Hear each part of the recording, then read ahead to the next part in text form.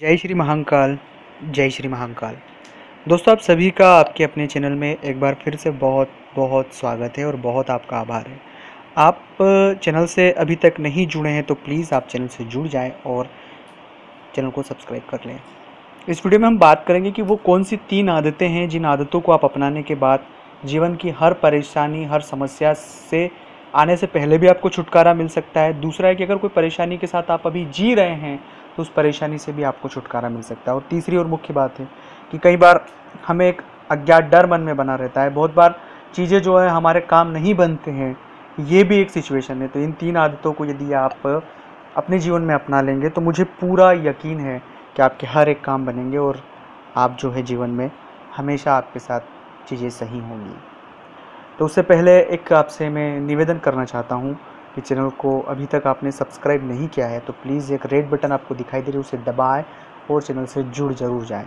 और दोस्तों, बहुत कम आप कमेंट्स कर रहे हैं अभी इन दरमियान। भोलेनाथ का नाम लिखें आप, गणपति जी का नाम लिखें, जो आपका मन हो उस कमेंट्स बॉक्स में ईश्वर का नाम ज़रूर लिखें, इस बहाने हम ईश्वर का एक नाम तो ले सकते हैं।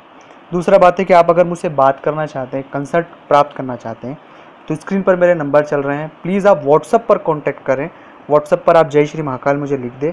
और अपॉइंटमेंट लेकर आप बात कर सकते हैं। तो कोई भी परेशानी हो तो एक सकारात्मक हल आपको मिलेगा। सबसे पहली बात कि सबसे पहली आदत जो अपने जीवन में आपको हमेशा बनाना चाहिए और आपको हमेशा उस चीज़ को फॉलो करना चाहिए। दोस्तों, कभी भी, चाहे जितने भी ख़राब क्यों हालात होना हो, हमारी सोच, हमारी जो मन में चलने वाली यथा स्थितियाँ है क्योंकि ख़राब जब हालात चलते हैं तो मन, स्थिति भी हमारी ख़राब हो जाती है।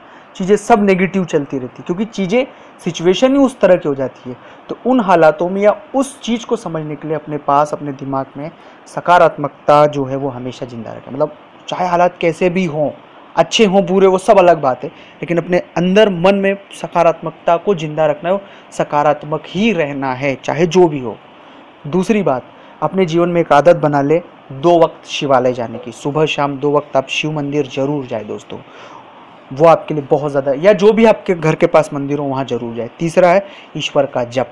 अगर आप ये तीनों चीज़ करते हैं, कभी कोई परेशानी नहीं होगी। जय महाकाल जय महाकाल।